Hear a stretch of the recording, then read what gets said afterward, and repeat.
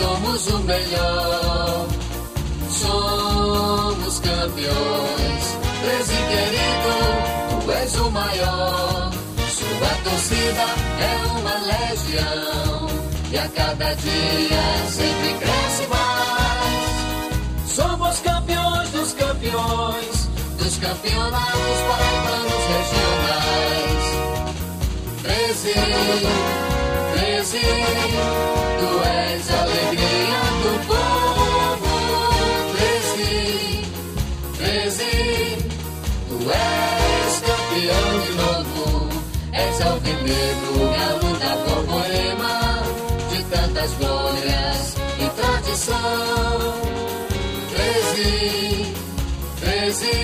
sou treze anos de coração. Somos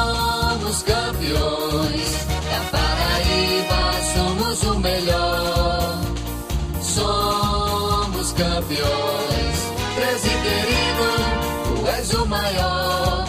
Sua torcida é uma legião e a cada dia sempre cresce mais. Somos campeões dos campeões, dos campeonatos paraibanos regionais.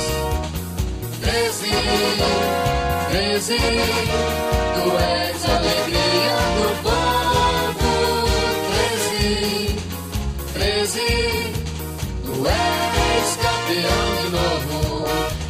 Alvinegro, galo da borborema, de tantas glórias e tradição.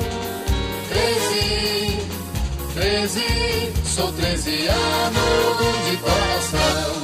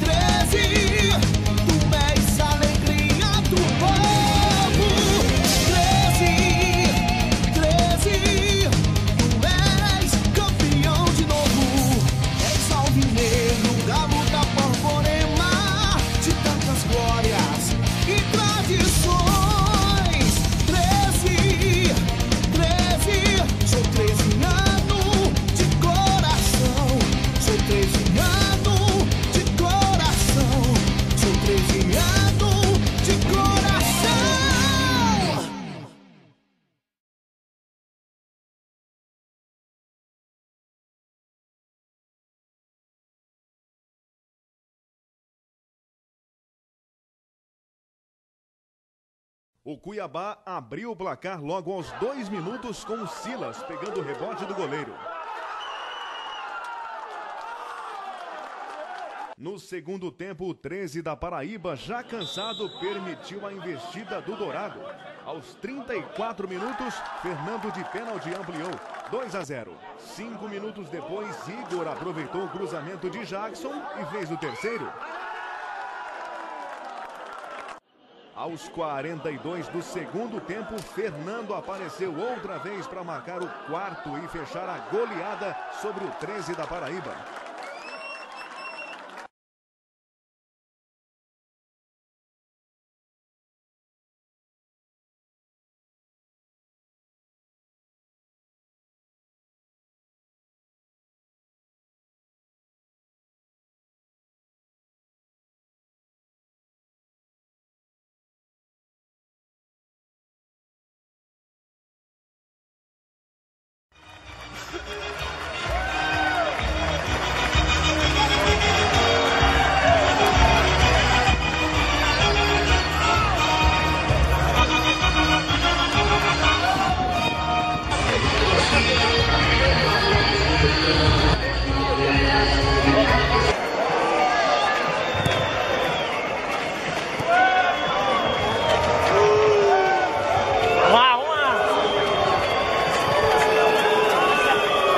Sampaio em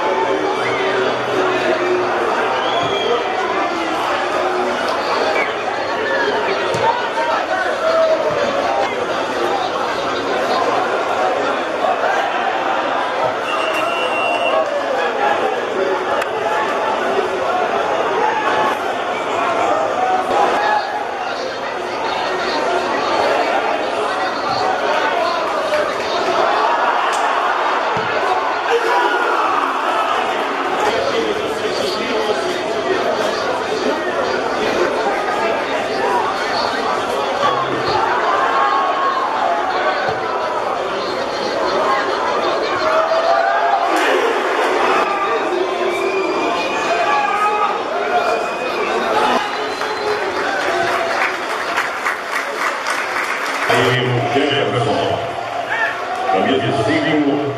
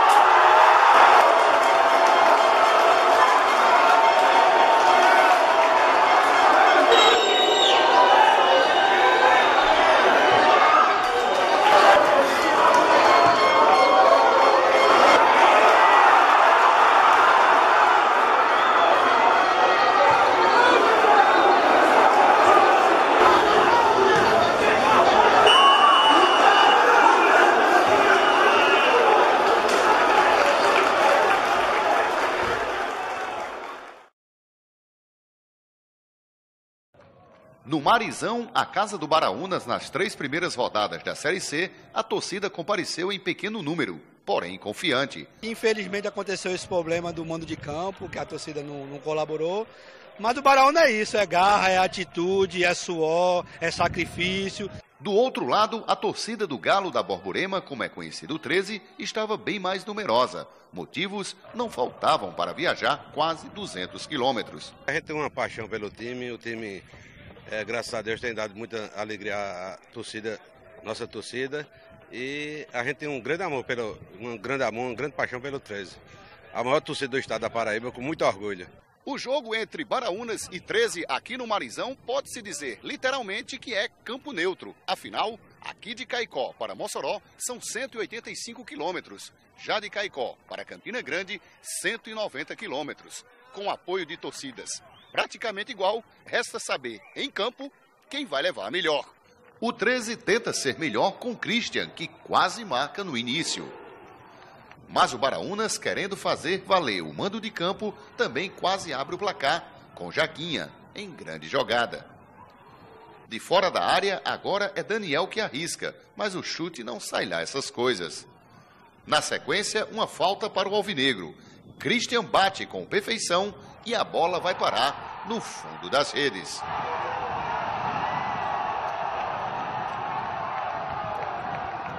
O Baraunas tenta não se abater e o artilheiro Cristiano Tiririca tem grande chance. A zaga salva quase em cima da linha. Pedrosa de cabeça também leva perigo. Outra vez Soares, agora no chute colocado. No rebote, Paulista marca, mas o impedimento já estava marcado. De longe, Richardson acerta este belo chute que explode no travessão. Na sequência, Soares cruza e quase surpreende o goleiro moçoroense. No segundo tempo, o 13 continua querendo ampliar a vantagem e Soares, mais uma vez, é quem finaliza. Érico salva o tricolor. Pelo lado do Baraunas, o perigo vem sempre com Cristiano Tiririca. Aqui o atacante perde ótima chance.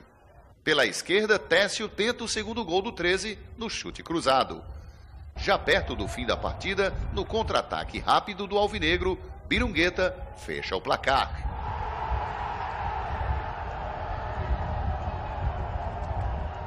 Paulinho ainda tenta diminuir e Éder faz bonita defesa. Final de jogo do Marizão, Baraúna 0, 13 2. Luverdense e 13 entraram em campo com formações parecidas e interesses iguais. A vitória daria ao Luverdense tranquilidade para a partida contra o Fortaleza pela Copa do Brasil na quinta-feira. Para o 13, três pontos afastariam o time da zona da degola. Mas o Luverdense começou mostrando suas credenciais. Gilson avança pela direita e cruza. Éder evita o gol de Misael e na sequência segura o chute de Rafael Tavares. Aos seis minutos, Tavares limpa o lance e serve Tozin, que bate cruzado para abrir o placar em favor dos donos da casa.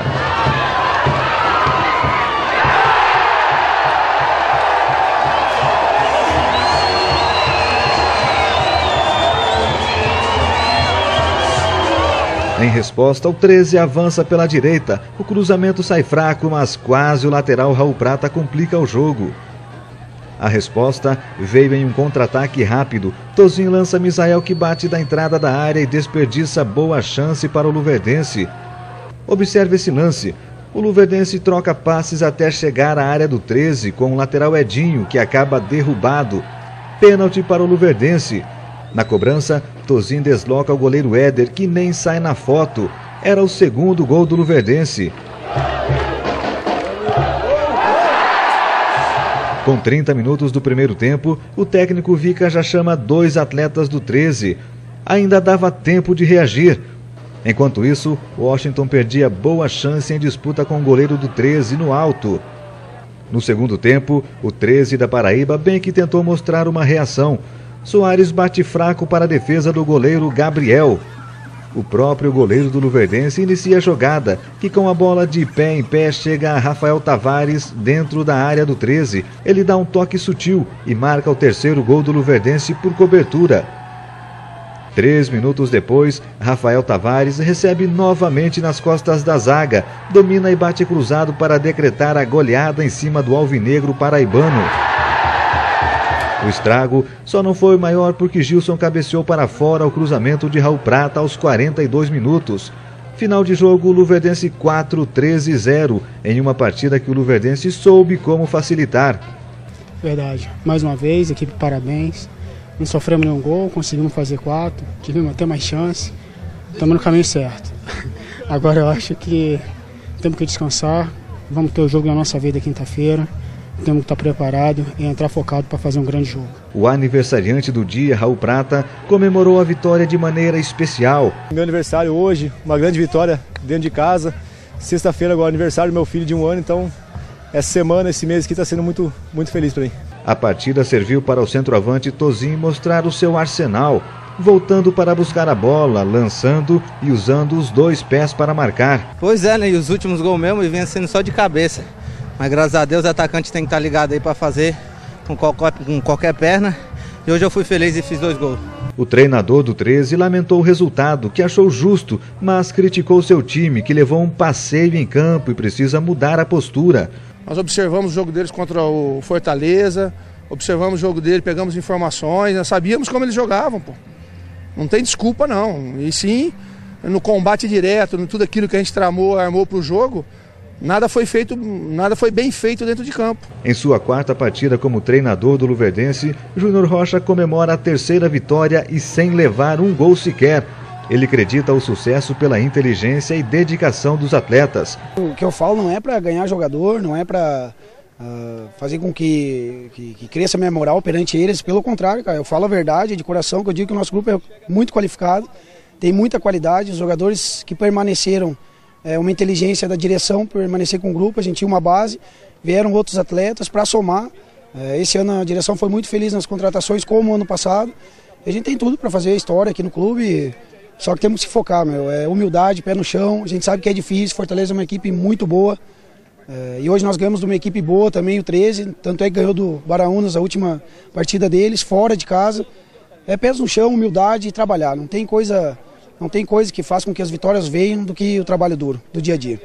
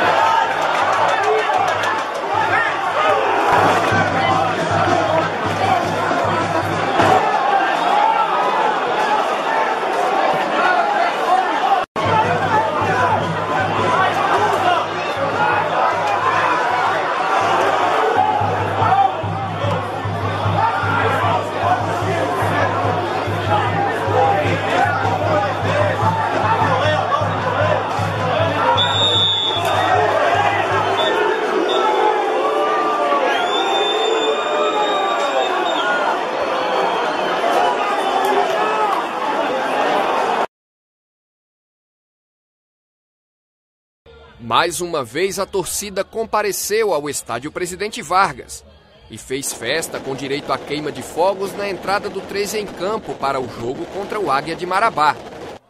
E o Galo começou na pressão com o volante Sapé chegando ao ataque. Logo aos cinco minutos abriu vantagem no placar.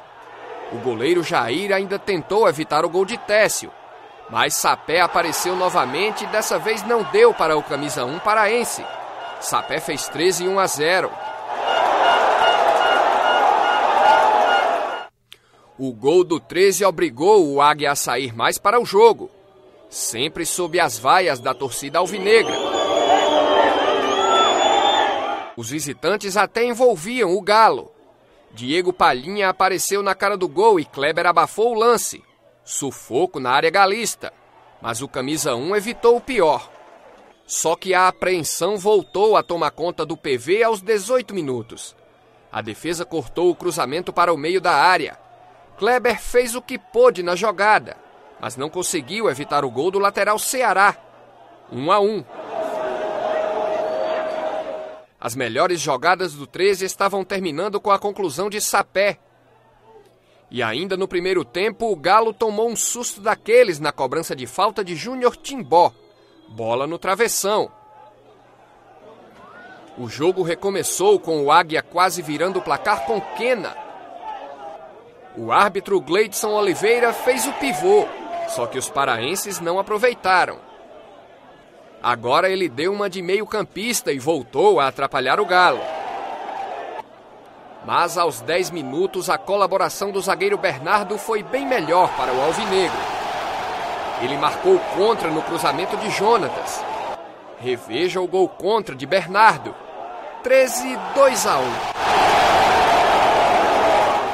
A partir daí, o time começou a buscar os contra-ataques, mas desperdiçando oportunidades. Nesta jogada, Thiago Souza recebeu livre, mas o impedimento foi marcado. E no finalzinho, Sapé construiu a jogada, Thiago Souza disputou com a zaga e a bola saiu por pouco. Final de jogo em Campina Grande. 13-2. Águia de Marabá 1. Um resultado comemorado também com fogos de artifício. Jogaram em cima da gente o tempo todo. A gente sabia que a gente ia receber essa pressão. A gente tentou esperar o contra-ataque, mas a gente não acertou. A gente tentou na finalização também, a gente não acertou. A gente teve uma bola na trave, mas a equipe dele chegou. Um cruzamento fez um gol contra, mas foi parte do jogo. Agora levantar a cabeça, chegar domingo lá e poder reter esse placar aí para a gente voltar a ganhar, pegar esses três pontos. Foi mais na raça, mais na vontade ali. E graças a Deus conseguimos três pontos. E diante da torcida que vinha nos apoiando e certas horas criticando pelo desempenho dentro de casa que não vinha sendo legal. Então acho que saiu na hora certa essa vitória, dá um ânimo a mais na equipe, que a gente possa fazer um bom jogo agora fora de casa. Para os tricolores, o jogo entre Santa Cruz e 13 é considerado dia D. Decisivo. Delicado. É duro e decisivo. Duro para o time, delicado para a torcida e decisivo para o Sandro. Delicado. Esta retrata a situação do técnico Sandro Barbosa no comando da equipe. Vamos trabalhar, né? Esperar primeiro acabar o jogo para a gente decidir nosso futuro. Decisivo, porque uma vitória recoloca o time no G4, mas uma derrota aproxima ainda mais da zona da degola. Para explicar a situação, Thiago Cardoso, homenageado com uma camisa pelos 100 jogos disputado pelo clube. Espero que não seja apenas 100, mas 200, 300, quanto Deus me permitir, né? Não só com marcas assim, mas com títulos e os, os objetivos principais do clube, que é sempre o acesso chegar à Série A. Então, fico honrado a Deus por tudo. Agora falando na palavra duro, tem gente que promete endurecer na partida. Certamente a gente vai fazer o possível, estamos preparados e o final do jogo vai, a gente vai definir o que, que aconteceu. Mas os pernambucanos estão determinados. Primeiro com sorriso improvisado na direita. Dedé também tenta. E depois de alguns lances bonitos individuais, Sandro pede mais dinâmica com a bola no pé. Já que estamos falando tanto na letra D, um jogador que carrega essa consoante no nome voltou a ser decisivo. Denis Marques recebe a bola de caça-rato e encobre o goleiro. Golaço. Santa 1, 13-0. E o DM9 queria mais e sofre falta na entrada da área. Raul, com o pé direito, faz o gol de número 2 da partida.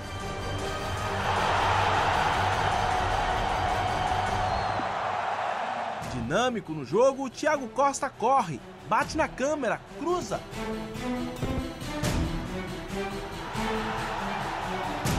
Caça-rato leva os tricolores ao delírio, 3 a 0. A gente sabia que tinha que se impor aqui dentro de casa, graças a Deus não foi diferente. A gente imprimiu o nosso ritmo graças a Deus saímos no primeiro tempo com 3 a 0 Vamos voltar no segundo tempo com a pegada para matar o jogo. Na etapa final, o Santa cai na marcação dura do 13 e o paredão do Arruda vai salvando uma, duas, três vezes. Vendo o time visitante jogar melhor, Sandro tenta ser didático na área técnica. Como os paraibanos não dão moleza, o comandante tricolor passa dicas para Sandro Manuel. O volante começa a jogada. A bola vai de pé em pé até chegar em Denis Marques para fazer o quarto do Santa Cruz. Goleada no Arruda.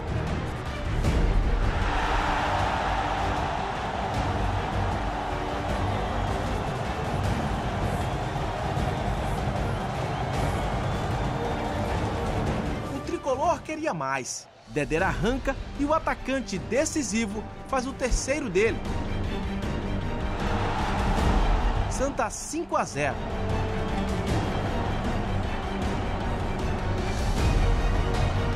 Placar definido, Sandro está sério e a cada minuto parece deixar no ar alguma coisa. Sim, e ainda deu tempo de Sandro Manuel fazer mais um. Santa 6, 13 0.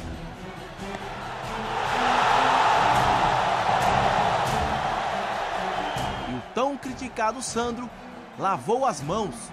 Seria um sinal de despedida? Primeiramente, oferecer essa, essa vitória para o Sandro, que estava precisando muito, estavam desconfiando muito do trabalho dele. Desde o começo nós estamos fechados com ele e infelizmente tivemos algumas partidas irregulares e a cobrança é sempre maior em cima do Santa Cruz. Sandro é um professor excelente, um, sem comentário, eu acho que estava uma desconfiança muito, muito grande do trabalho dele. Essa vitória a gente oferece para ele.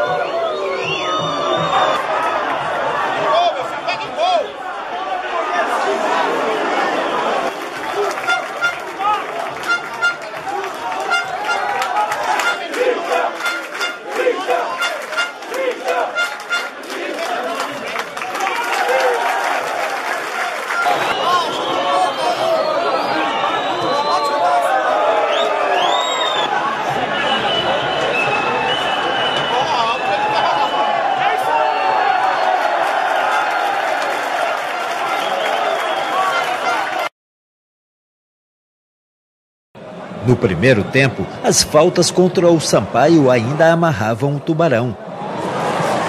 Que no primeiro lance de perigo teve o corte por conta da defesa. Mesmo assim, Pimentinha tentava. E Cleitinho também fez a bola passar bem perto da trave. Até que Robinho, aos 44 minutos, abrisse o placar. Para inquietar a torcida boliviana, no início do segundo tempo, Thiago Chulapa, de cobertura, abriu o placar para o 13. E as tentativas de reverter o placar começaram até que, aos 24 minutos, um pênalti batido por Thiago Cavalcante mandou a bola para o fundo da rede. E esse não seria o único dele na partida. Thiago Cavalcante marcou 3 a 1. Reação do 13 veio com um bate-rebate que acabou em gol do Sapê, 3 a 2. Para coroar a participação dele, Thiago Cavalcante, inspirado pela família, marcou 4 a 2. Satisfação enorme, porque ainda hoje, mais cedo, estava ligando para o meu pai e ele falou que um era pouco, que tinha que fazer mais. E graças a Deus, Deus me abençoou e esses gols toda a honra para a glória para Deus. E não dá para negar que a torcida ajudou mais uma vez a manter a invencibilidade do Sampaio aqui no Castelão. Sempre que for possível estaremos aqui no Castelão torcendo, gritando, vibrando pelo Tubarão.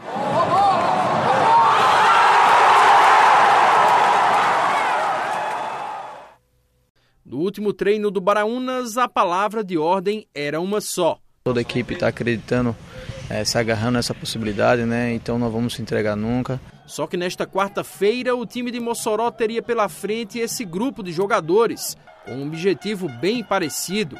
Um grupo que vem quebrando paradigmas na Série C, que vem mostrando, acima de tudo, muita união nessa fase decisiva da competição.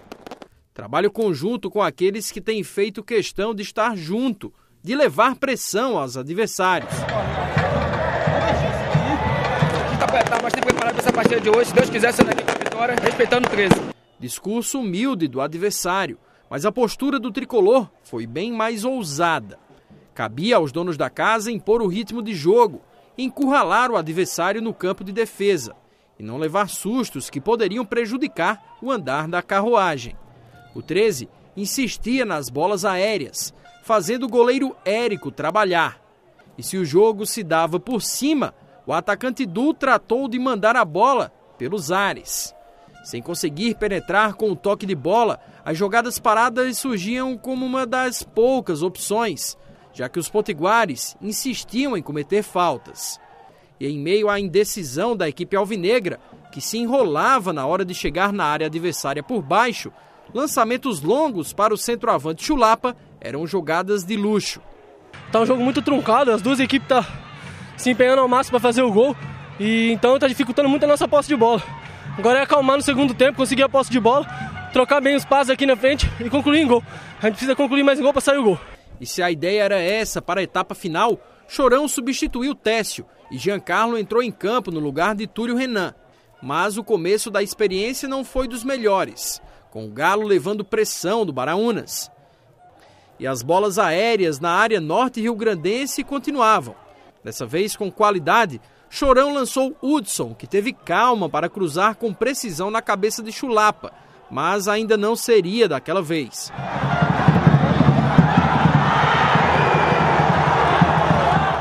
Não era por falta de tentativas que o camisa 9 não conseguia bater Érico, que nessa jogada mostrou porque é ídolo da torcida galista. Milagre no chute de Celeste. Logo depois, Giancarlo cai na área e pede pênalti, ignorado pela arbitragem. Chulapa reclamava, insistia nas finalizações. E até então, nada. Como o gol não vinha, a expectativa era trocada pelo alívio em jogadas como essa, na bela defesa de Éder e na cobertura perfeita do zagueiro Pitt, que deixou os 13 anos com o coração na boca. Bem, e por falar nele, praticamente o último lance do tempo regulamentar. Escanteio para o Galo. Um silêncio ensurdecedor tomou conta do PV, mas Chulapa fez questão de mudar a situação.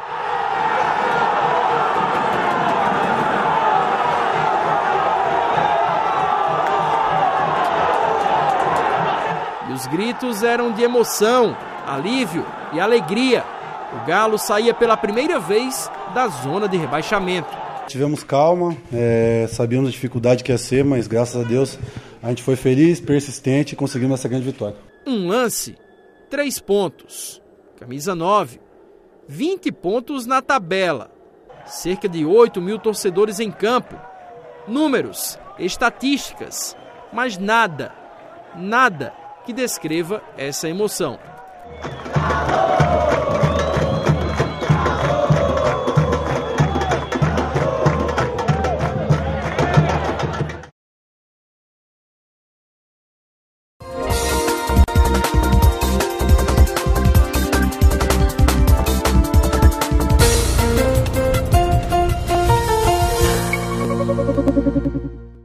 E agora vamos falar do Campeonato Brasileiro da Série C. A derrota virou rotina para o Rio Branco. E dessa vez o Estrelão perdeu em casa para o 13 da Paraíba. E agora o time acriano acumula 11 derrotas em 12 jogos e está cada vez mais próximo do rebaixamento à Série D. Depois de tantas batalhas judiciais, Rio Branco e 13 da Paraíba voltaram a se enfrentar, só que desta vez em campo, no estádio Arena da Floresta. O Estrelão em busca de um milagre para fugir do rebaixamento. O time paraibano, também ameaçado, entrou no gramado para se recuperar na tabela. O primeiro tempo foi bastante movimentado e de muito trabalho para os goleiros. Na jogada de testinha, Helder salvou o 13.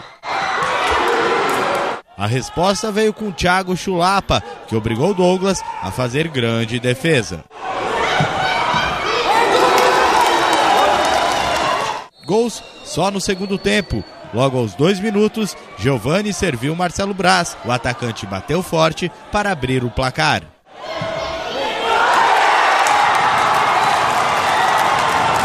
Com o time jovem, o Rio Branco não suportou a pressão. Na cobrança de escanteio, o zagueiro Glauber de cabeça deixou tudo igual.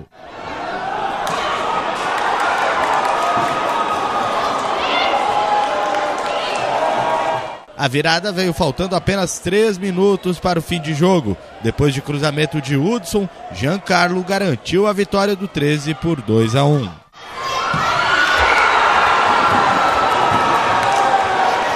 A gente colocou todas as nossas forças, o jogo foi muito difícil e a gente mereceu a vitória. Eu acho que essa equipe ela mereceu um resultado diferente hoje, né? Eles se doaram, eles correram, eles foram nos seus, nos seus limites e, e isso, isso me anima me anima em ver que, que nós temos aí uma geração boa. É preciso você acreditar, confiar e trabalhar. E isso nós vamos fazer até o final. Hoje estivemos perto da vitória, espero que ela possa sorrir para nós no próximo jogo. É, e o Rio Branco é o lanterna do grupo com apenas três pontos ganhos. O time volta a campo no domingo contra o Baraunas, em Mossoró, no Rio Grande do Norte. E uma derrota pode confirmar matematicamente o rebaixamento do Rio Branco à Série D do Brasileirão. Os detalhes do esporte acriano você acompanha todos os sábados a partir do meio-dia no programa Gazeta Esporte com Gabriel Rota, aqui pela TV Gazeta Rede Record.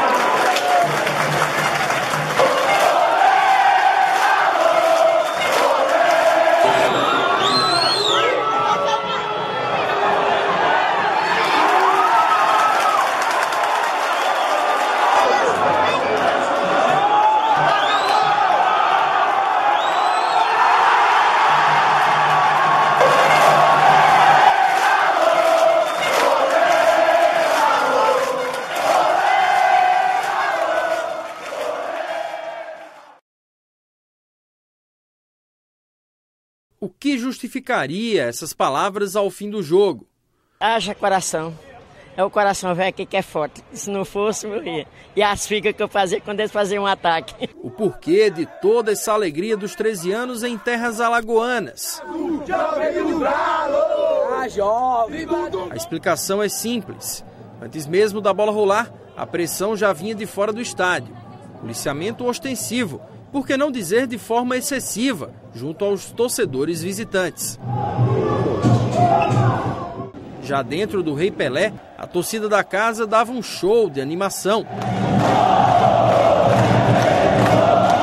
Nada que inibisse os paraibanos que foram até Maceió levar o apoio ao galo da Borborema. O 13 agora não é mais aquele de outros tempos, que chegava a ser motivo de piada dos adversários. A conversa e os objetivos agora são outros. Nós temos que pensar grande, né, cara? Não podemos pensar aqui e sair derrotados. Temos que chegar aqui e tentar sair com um ponto positivo, com uma vitória ou se tiver um empate. Mas o pensamento do 13 é sair com um resultado positivo daqui do diante do CRB. E para conquistá-los, o Alvinegro precisaria ser ousado, mesmo em terras adversárias. Só que apenas atacar não seria o suficiente, já que a obrigação maior de vencer era do Alvirrubro. Para evitar isso, Éder mostrava trabalho mas o poder defensivo do 13 também passava por uma marcação de pressão no campo do CRB, que dava oportunidades para o time de Campina Grande abrir o placar, seja de bola parada ou mesmo com ela rolando, em jogadas individuais como essa de Thiago Chulapa. E a tônica do confronto era essa: primeiro defender, não deixar que o galo da Pajussara abrisse o placar, evitar ter que correr contra o prejuízo. E a partir daí sim, usar da velocidade, dos contra-ataques. Ousar diante da pressão, tentando surpreender os adversários. Em certo momento, equilibrar as ações ofensivas já não parecia ser o maior desafio, pois a equipe paraibana já havia aprendido que poderia ir um pouco mais além, mesmo sabendo que teria que correr riscos para isso. Riscos esses que aumentariam a cada momento. O 13 se jogava para o ataque, mostrava também querer a vitória a todo custo. O CRB carecia de mais precisão nos momentos ofensivos. Os alagoanos notavam que do outro lado do campo, o conjunto alvinegro estava com sorte. E essa, aliada à competência, fez a diferença. Jogada individual de Túlio Renan, que após várias tentativas, acabou calando o estádio Rei Pelé. Ou melhor, parte dele.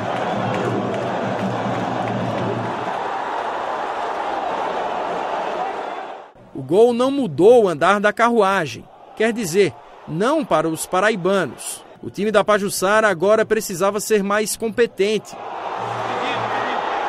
Só que dessa vez também passava a correr certos riscos, inclusive o de não poder lutar contra o azar, mesmo se empenhando, e muito. Os chutes vinham de todos os lados. Nessa jogada a bola passou por cima. Nessa outra, o chute passou cruzado e com muito perigo.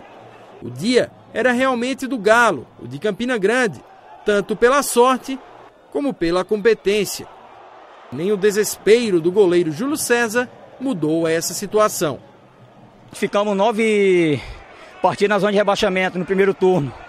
Quando o Vica saiu, o Luciano pegou o time desacreditado. E ele, como eu falei ainda agora para os amigos de vocês, da imprensa, que ele deu liberdade para o jogador conversar com ele. Então isso fica mais fácil. A gente fazer nosso trabalho dentro de campo e ele comprou nossa, a filosofia dele também. Uma verdadeira batalha em terras adversárias, antes e durante a partida. Mas graças a Deus deu tudo bem pra gente, né?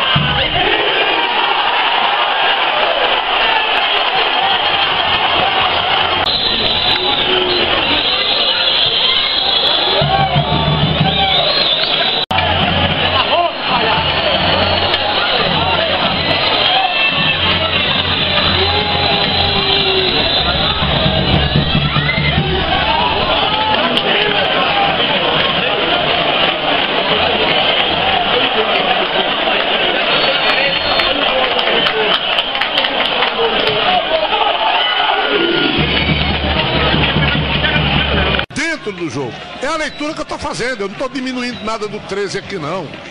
A verdade é essa. Mas o time não tem o poder de fogo que se imaginava que teria. Olha aí, ó. Túlio. Tocando bola com Túlio. Túlio Renan. Para cima da marcação, tentou levar para o meio. Fechou bem a porta do Fortaleza. Por ali o Boiadeiro toca na bola com o Enano. Aí Wesley. O Celcinho, ajeitou com o Boiadeiro que vai passando. O Christian chega e retoma a bola. Olha, o Celcinho tá aí prorrogando, ele não pode continuar dando passe errado desse jeito. Há poucos instantes meteu uma bola no vazio para ninguém. E agora pede pro boiadeiro passar e dar outra bola errada. Quem organiza não pode errar de maneira repetida. A verdade é essa. Toca na bola com o Anderson Bainha, equipe do 13 vai no campo de ataque, observa por ali, colocou na frente. Passou o Anderson Bainha, bola fica com o Túlio. Tá dividida, chega ali no Boiadeiro também, tenta tomar. Túlio insiste, ganha, coloca na frente. Adalberto tocou de cabeça. Volta a bola, o chute de longe.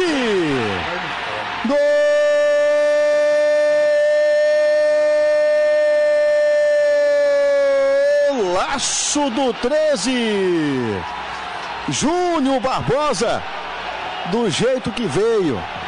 Mandou um sapato de fora da grande área, de longe, do meio da rua, para fazer a festa do torcedor do 13 no estádio Presidente Vargas em Campina Grande da Paraíba.